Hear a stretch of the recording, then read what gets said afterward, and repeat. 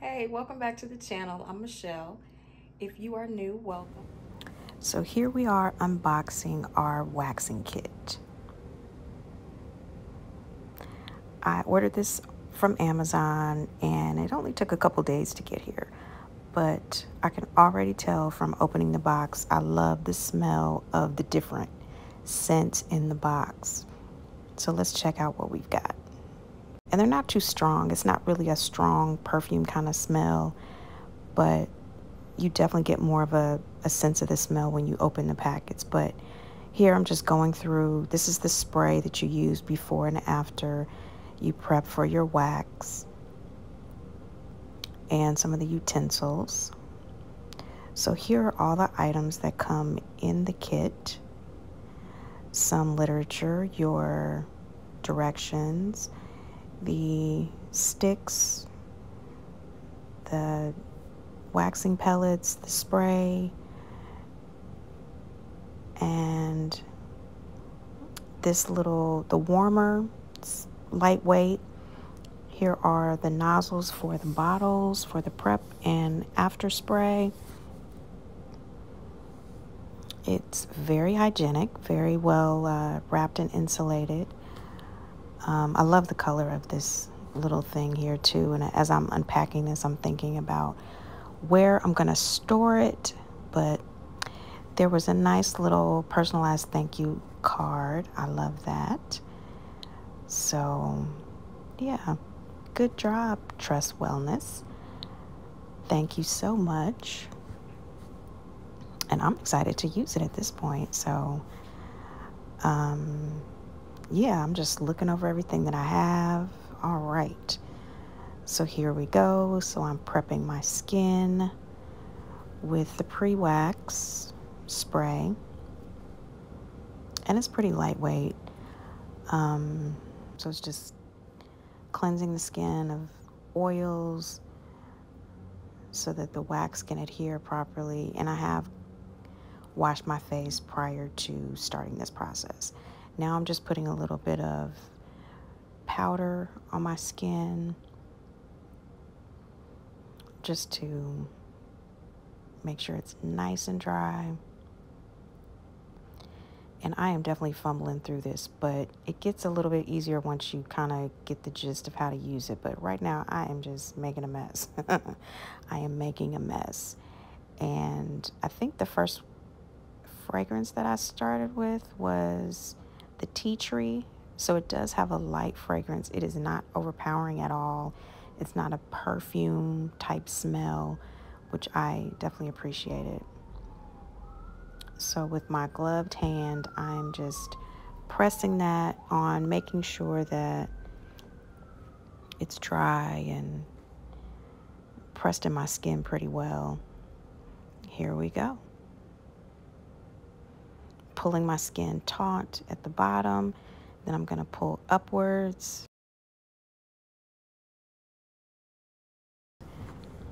Ooh, that was smart. Yep, I felt that one.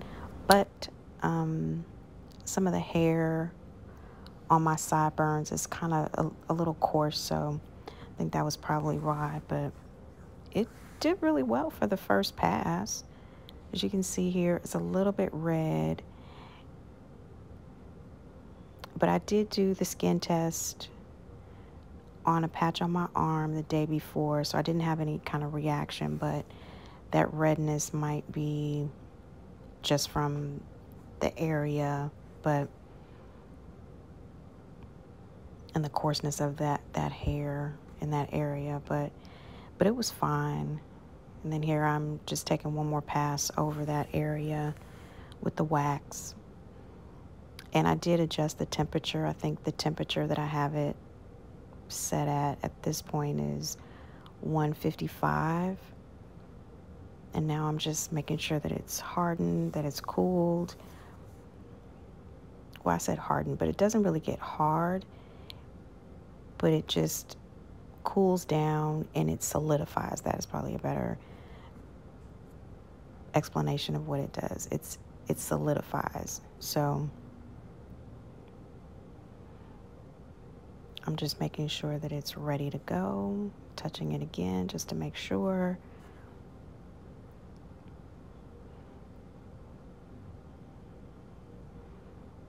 And then I haven't quite mastered how to make the bottom lift up so it's a little bit easier to release it when I get ready to pull it, but yeah, I'm working it out.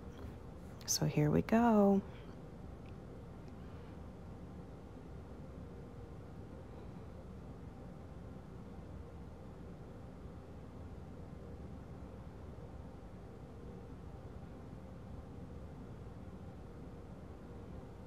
Yep, not too bad. All right. Then the after spray that you spray on your skin, it has more, it's moisturizing.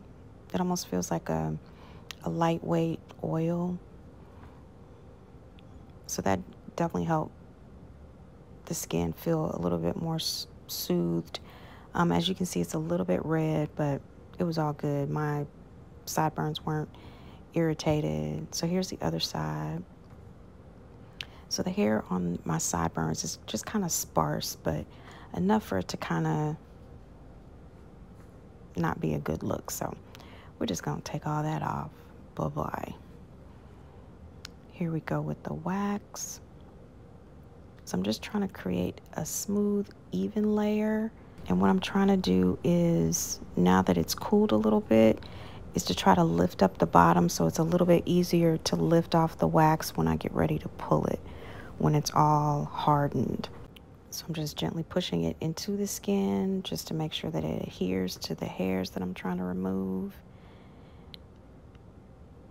Then I give it 30, 45 seconds, test it, make sure we're all good.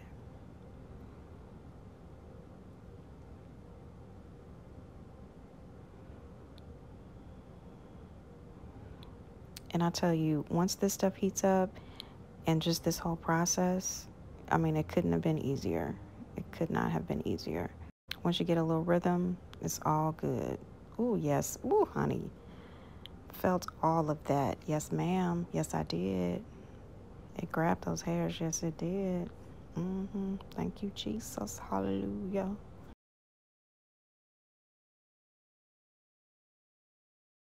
Yep, a little bit more redness, but I've never waxed my sideburns before, so there you go. Yes, yes, yes. And like many women, got that little bit, okay. Oop, it's not, not dry. See, touching it too quick, all up in my stuff. All right. Those pesky chin hairs. Yeah, so we're trying this out. See how it does on the chin and here it's really lightweight and yeah just showing you what it looks like because I've added some more of the wax beads and I'm just letting it.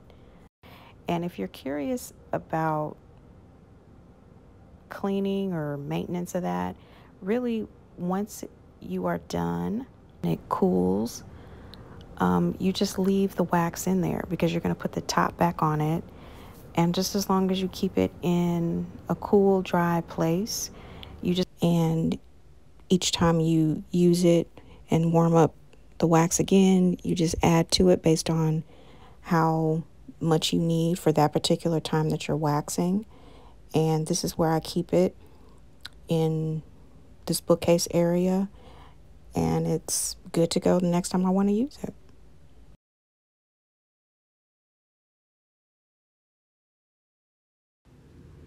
So here is where I do the waxing on my leg. And whoo, honey, it hurts, but it pulls it out. Um, it was a process. I did have to give myself a little breather and kind of do it in in parts because it is something to get used to, but it's pulling that hair off for sure. I typically have